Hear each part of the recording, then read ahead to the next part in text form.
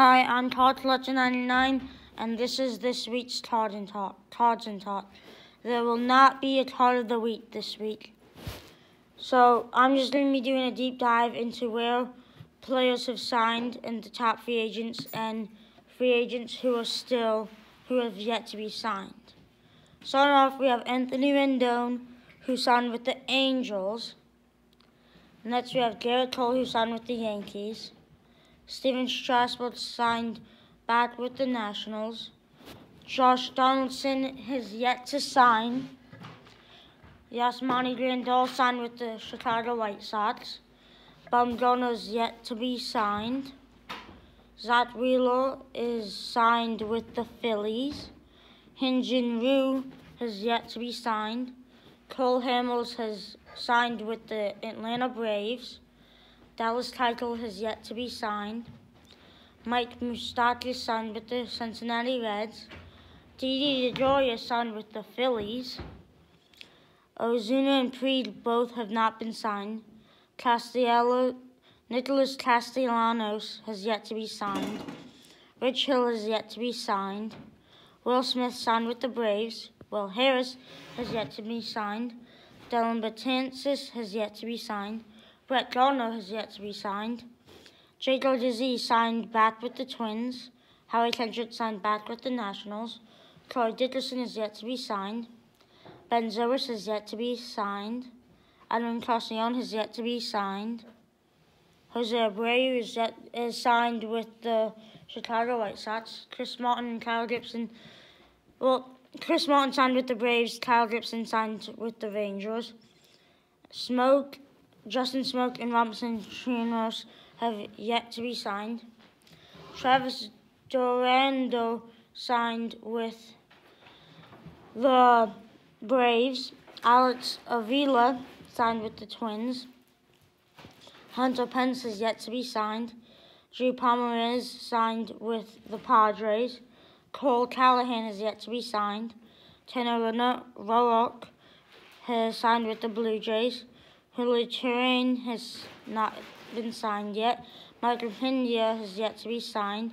Eric Thames has yet to be signed. Wade Miley is yet to be signed. Alex Wood is not signed yet. Scooter Gennett is currently unsigned.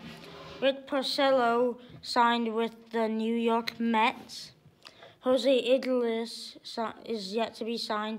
Gio Gonzalez, Todd Frazier, Ivan Nova, Jordan Lyles, and Aviz Garcia, and Castro all have yet to be signed. So those are like the top 50 players in free agency. Now I'm going to give my personal takes on where some of these players signed with, like the big names. So Anthony Rendon went from the World the World Series champions Nationals to Los Angeles Angels.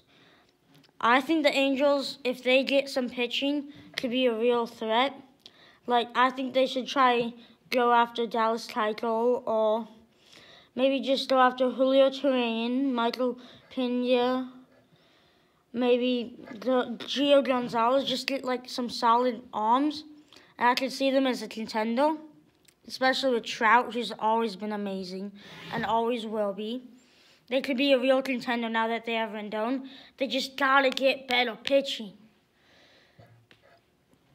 Yankees signed Gerrit Cole. I despise the Yankees as most baseball fans do. If you don't and you are a Yankees fan, uh, I just wish Cole went somewhere else. I don't like the Yankees. They're just some some of their fans are annoying and just I wish Gerrit Cole signed anywhere but New York. Strasburg re-signed, not much. Josh Donaldson, I personally think should go to the Mets. Now I know you're saying they don't really need a third baseman, but I feel like he could really push the Mets over the top, and the Mets should definitely try and get go after him. I feel like he'd be a really good addition.